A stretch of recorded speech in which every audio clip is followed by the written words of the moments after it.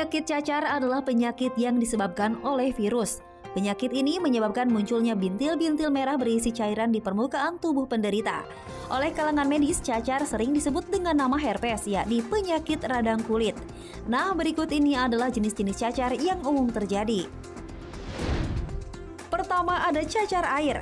Cacar air atau chickenpox disebabkan oleh virus varicella zoster. Cacar jenis ini termasuk yang paling banyak terjadi karena kita masih bisa terserang cacar air walaupun sudah melakukan vaksinasi. Di antara jenis cacar lainnya, jenis ini adalah yang paling ringan dan mudah disembuhkan. Gejala awal cacar ini biasanya berupa demam yang disertai dengan munculnya bintil kecil di seluruh tubuh penderita. Selanjutnya ada cacar ular atau herpes zoster. Penyakit ini merupakan bentuk reaktivasi penyakit cacar air yang pernah diderita seseorang sebelumnya. Karena ketika seseorang sembuh dari cacar air, virusnya akan menetap dalam tubuh, tepatnya di ganglion saraf tepi penderitanya. Virus yang berdiam ini bisa sewaktu-waktu muncul kembali dan menyebabkan penyakit herpes zoster atau cacar ular. Nah, cacar ini biasanya timbul di bagian punggung dan menyebar ke dada. Selain itu, gejala cacar ini juga bukan hanya sekedar demam, tapi juga nyeri otot dan lemas. Nah, jenis cacar yang terakhir adalah cacar monyet. Penyakit cacar monyet ini memang tidak sepopuler cacar lainnya. Nama lain cacar monyet adalah impetigo bulosa.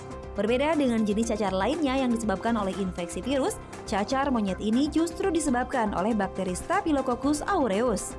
Gejalanya pun tidak seperti cacar lainnya, karena cacar monyet tidak menimbulkan demam dengan bintil cacar yang biasanya muncul di ketiak, dada, serta punggung. Cacar monyet sendiri bisa ditularkan pada manusia melalui hewan, terutama di kawasan Afrika Tengah serta Barat. Nah, belum lama ini cacar monyet sempat menggemparkan beberapa negara termasuk Indonesia.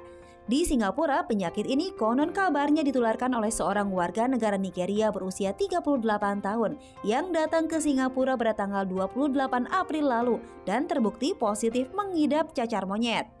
Untungnya, kini sang pasien sudah dalam kondisi stabil dan telah ditempatkan di ruang isolasi National Center for Infectious Disease. Nah, untuk mencegah terjadinya penyebaran virus tersebut, pemerintah Indonesia, khususnya Kota Batam, memperketat pengawasan terhadap penumpang kapal dan pesawat dari Singapura untuk mengantisipasi penyebaran virus cacar monyet tersebut.